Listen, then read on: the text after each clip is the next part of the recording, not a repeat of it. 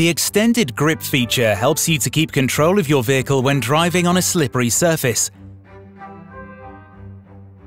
When the engine is started, the message Road Mode is displayed on the instrument panel. Road Mode is the default driving mode used in normal road conditions. To activate the system in slippery conditions, for example, when there's mud, snow or sand on the carriageway, press this button. The message Soft Ground Mode activated appears on the instrument panel.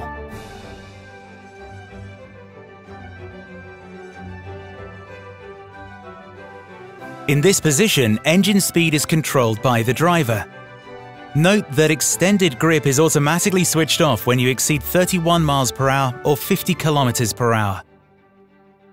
You can also deactivate it by pressing the switch again. The message Road Mode Activated will appear on the instrument panel